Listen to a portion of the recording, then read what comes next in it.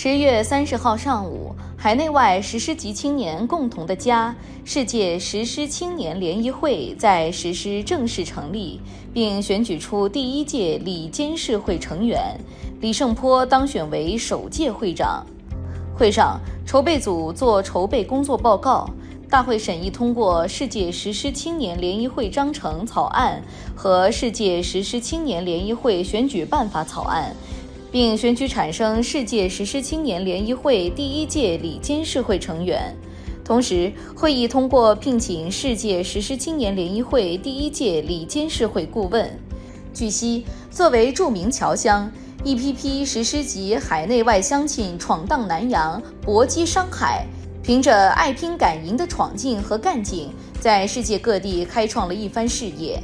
海内外石狮级年轻一代在薪火相传中也已茁壮成长，世界石狮青年联谊会应运而生。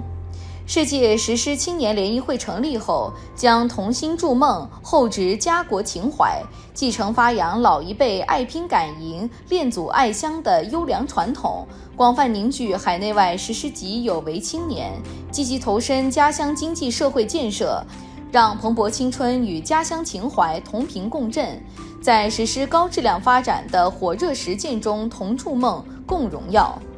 同时发挥优势，勇担时代之责，推动实施与世界各地的联系交流，积极参与“一带一路”建设，做勇立潮头的商业新锐。当好实施对外交流合作的友好使者，成为新时期团结全球乡亲、弘扬闽商精神、讲好家乡故事、支持家乡建设的连心桥、智囊团、助推器，将石世青打造成广大石狮级青年的温馨家园，为海内外石狮青年才俊共同成长进步提供更为广阔的舞台。东南传媒香港报道。